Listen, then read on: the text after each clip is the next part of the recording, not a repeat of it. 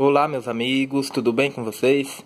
Eu sou Fábio Santos e hoje eu vou ensinar aqui o substrato correto e adubação correta para plantar a rosa do deserto. Essa rosa do deserto aqui já floriu muito esse ano e olha como está linda.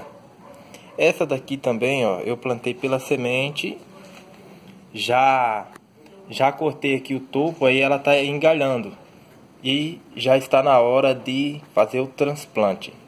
Bom, aproveita, deixa seu like aqui no vídeo, se inscreva aqui no nosso canal e no final desse vídeo compartilhe com seus amigos. Muito obrigado desde já e bora lá o vídeo explicando aqui o que eu uso para plantar rosa do deserto. Para o substrato vamos precisar de uma parte de areia, areia de construção,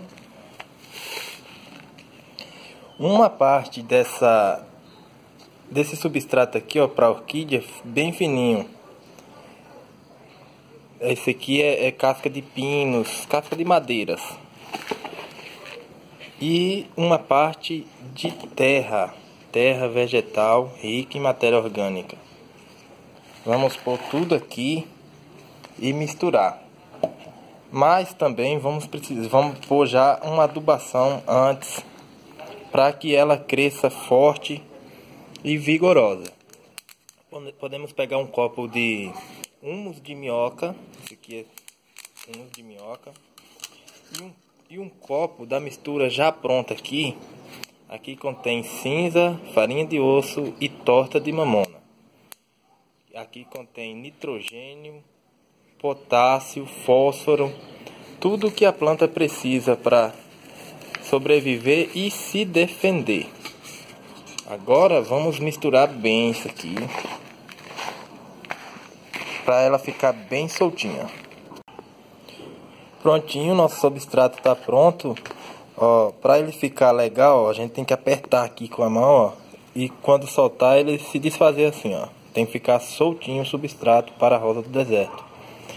Essa daqui já foi transplantada e ela pode inventar muito tempo nesse vaso. É um vaso ideal para ela. Olha o caldex como tá ficando lindo. Tá vendo?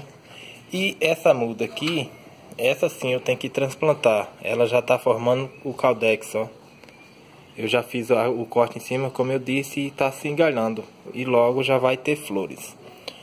Eu escolhi esse vaso aqui bom vaso branco, né? É, vaso baixo.